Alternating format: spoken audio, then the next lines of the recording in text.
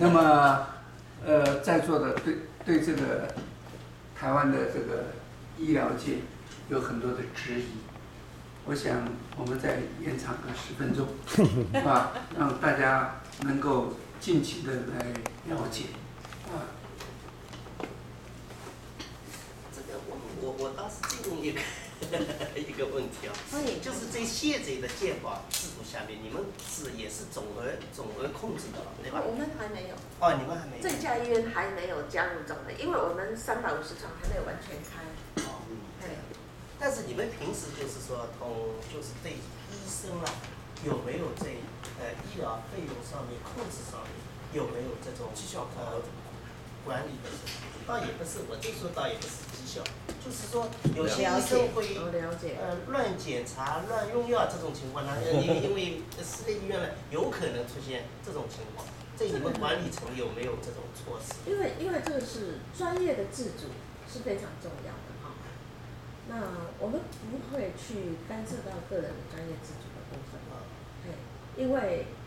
只要整个的统计上看起来是合理，不会有太大的差异，通常医院不会去干涉这种事情。因为我我个人的看法哈，就从我个人的看法，因为我从小就是在高一，一直到目前为止，我看到整个高一的成长，然后往外扩充，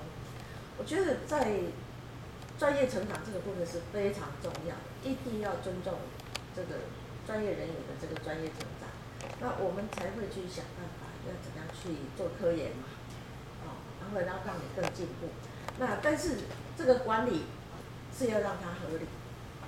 哎，管理只是在合理，而不是说在限制专业的发展。它这个医院的整个收入结构里面，药大概占多少？药药收入我们知不知道药？大概是五十 percent，百分之五百分之五十。那你这个药有没有利润呢？有，要有力量。百分之五十。我说的其实也算花的，社区医院，不过你们是老年的那个，因为我们现在的业务量还不是这么大，嗯，越大的话，那个药的比例就会越降。对，社区医院的药比肯定要就是说这这个药里面是有加成有收入的。是，啊，那我们的药用的跟我们的医学中心是一样的，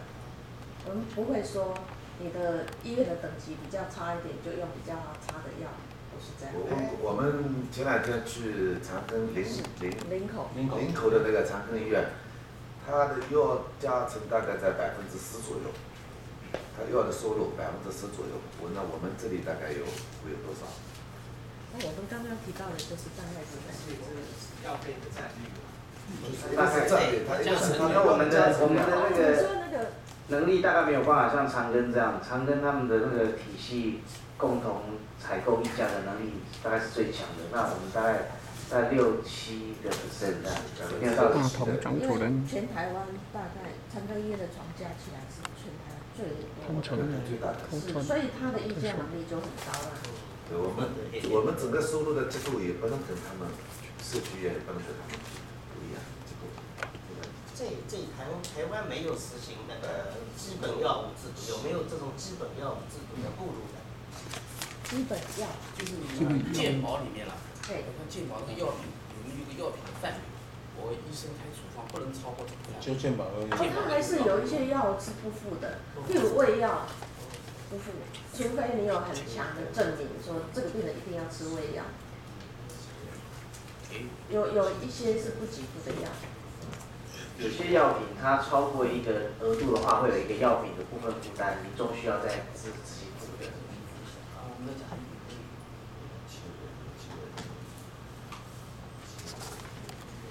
美国好像有一个基本药物，它一共好像要这种社区里面用药的话，只能可以那个目录里面，而且它只有两百两百两百多种药。我们大陆现在也在搞基本药物制度，但是这个制度呢，在我们江浙一带，我们浙江这带这带属于经济比较发达的地区，呃，相对说民众的生活，呃，或者对医疗的需求相对比较高所以说高它这个目录不能满足我们社区的那些民众的需要，然后我们就产生这种矛盾。你们没有，就是社区医院用的药同你那个呃大的医院主要是为了不一样控制，等于说为了控制医保的费用的是。增长啊。就像你们那个，他照到台湾来说是控制健保费用，是。所以说呢，他对这个药品呢采取了一定的限制，有些特别高的价格，就像你说非这个医疗型的保健性的这个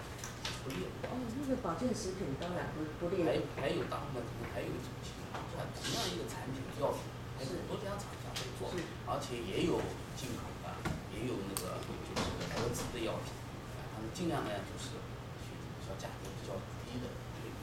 每个每个种类的药品的价格都不一样，有的同样一个药品，不不同的厂家生产价格不一样，对，所以那个就是议价空间嘛。啊，我们在采购的时候的议价的空间就是在哪里看哪一个药可能是效果不错，一定必须是效果不错，然后是健保是可以允许的，但是它的利润又比较好，那就会采取这样购买这样的药。